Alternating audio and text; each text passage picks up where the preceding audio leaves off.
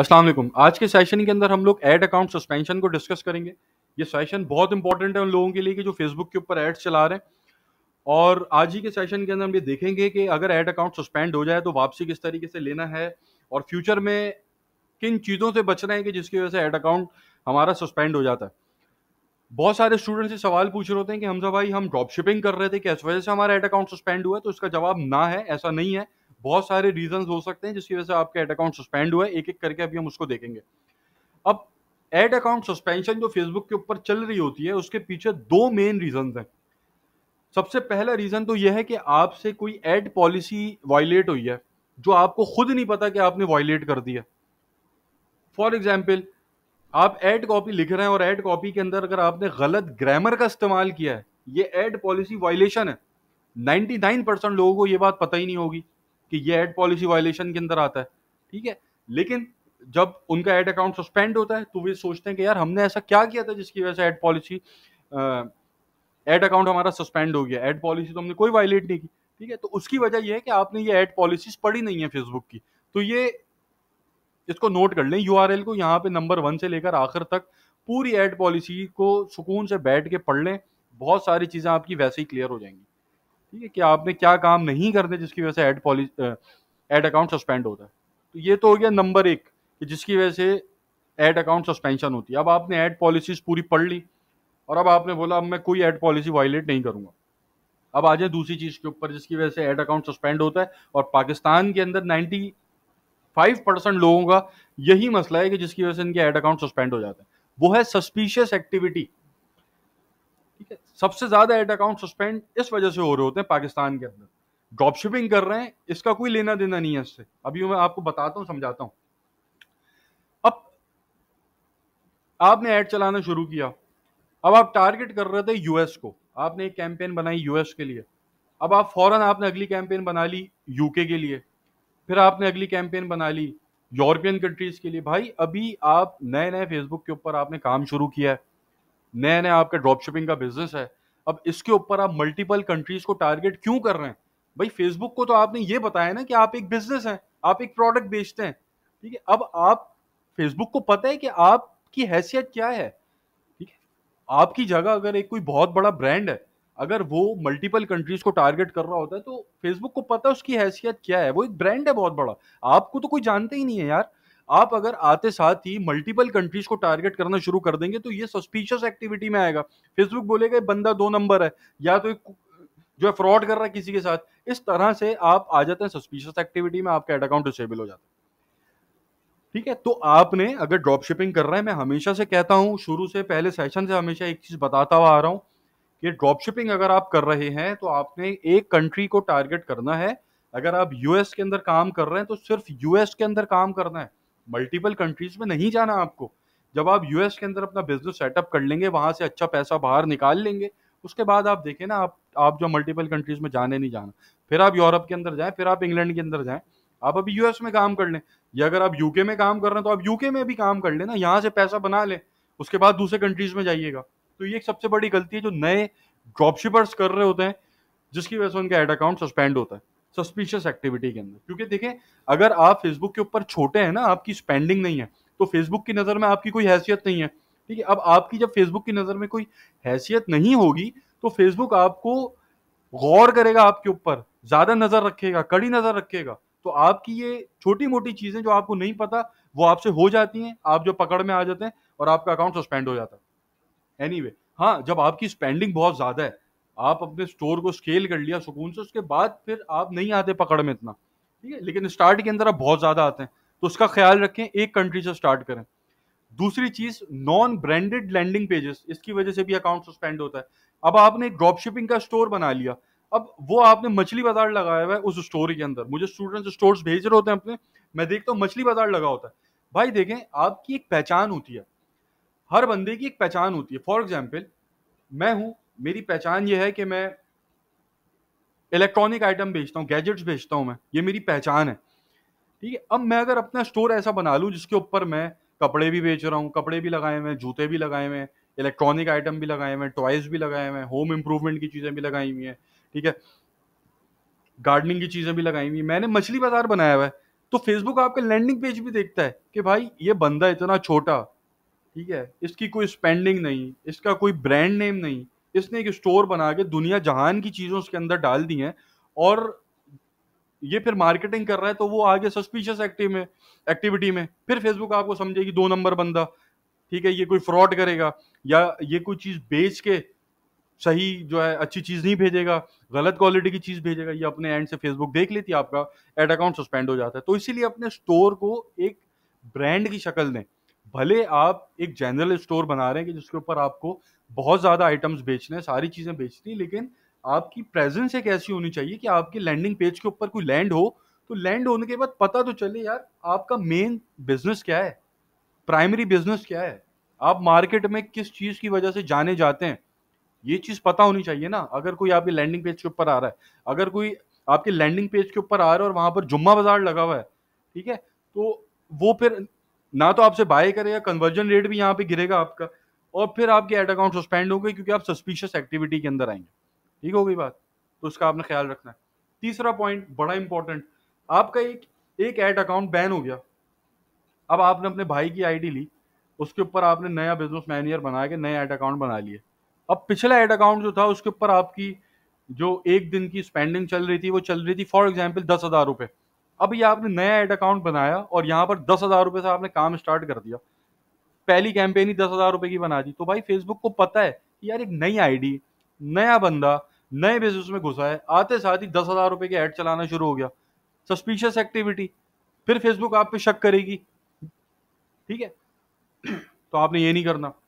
दूसरा, आपकी जो आईडी है फेसबुक आईडी है, वो किसी और नाम से है। आप जो डेबिट कार्ड इस्तेमाल कर रहे हैं पेमेंट्स के लिए, वो किसी और नाम से है। यहाँ पे भी सस्पिशियस एक्टिविटी ठीक है? मतलब फेसबुक ये देख रही है कि यार बंदे का नाम हमजा है।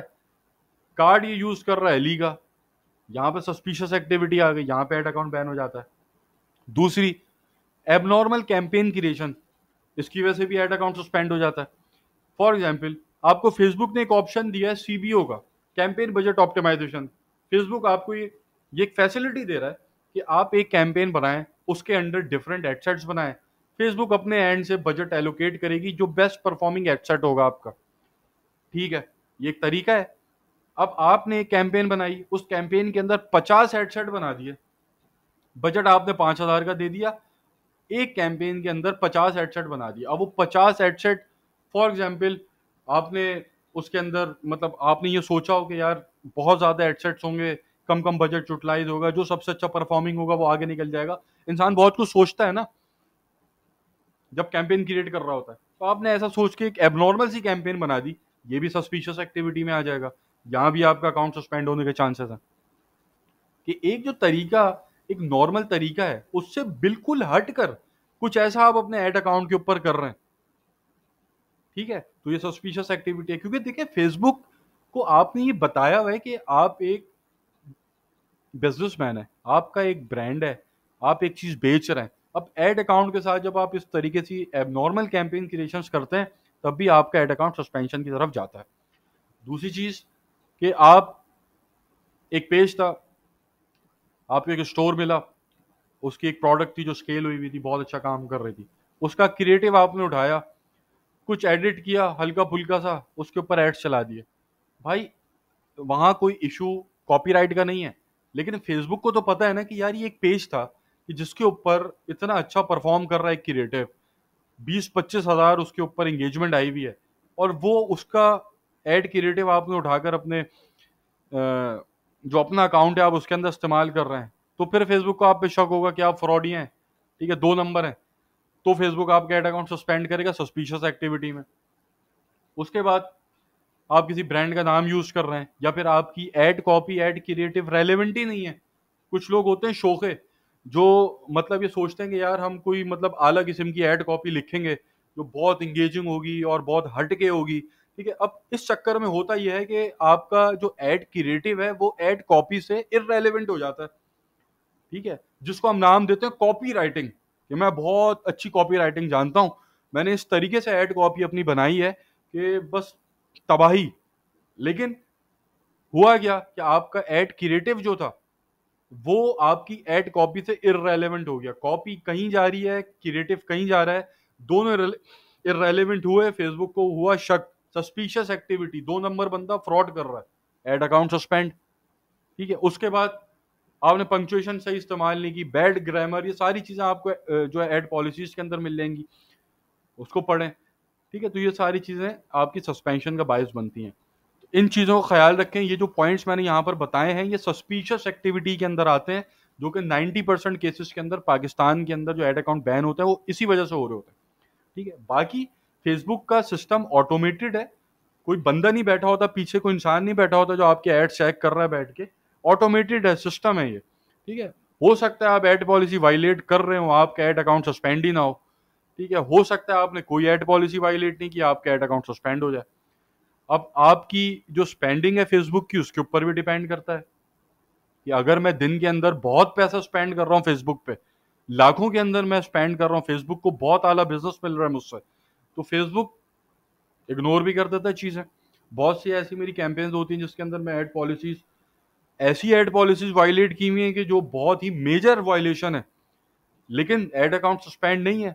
हज़ारों उसके ऊपर लाइक्स हैं, हज़ारों उसके ऊपर जो एंगेजमेंट्स आ रही हैं, चल रहा है। ठीक है, कुछ ऐसी हैं कि जो आपने वॉयलेट नहीं करेंगे, वो आपका एड अकाउंट सस्पेंड हो जाएगा। तो ये चीज़ें टोटली फेसबुक के ऊपर भी डिपेंड करता है। चीज़ें आपने बस ये देखनी जो मैंने आपको यहाँ पे बताया।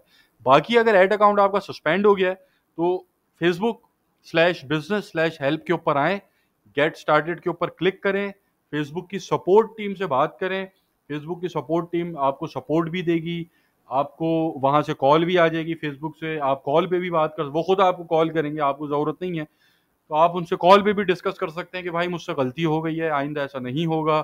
मुझे नहीं पता था कि ये एड पॉलिसी मैंने वायलेट कर दी है। इन फ्यूचर मैं ऐसा नहीं करूँगा।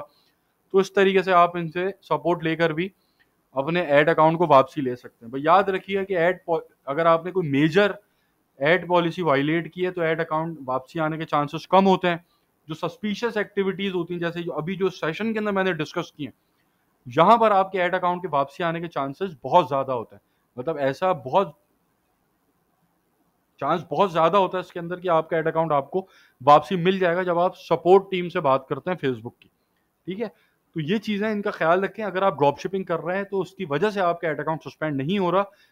जो ड्रॉप शिपिंग के स्टूडेंट्स हैं, उनके लिए ये दो मेन पॉइंट है। ऊपर वाले जो मैंने बताए हैं कि कंट्री स्विच नहीं कर दें और अपने लैंडिंग पेज को ऐसा बनाना है कि जिसको देख के आपकी प्रेजेंस पता चले कि आप मार्केट में क्या बेचने बैठे हुए है। तो आपका जनरल स्टोर लेकिन बेचने क्या बैठे हुए ये पता होना चाहिए।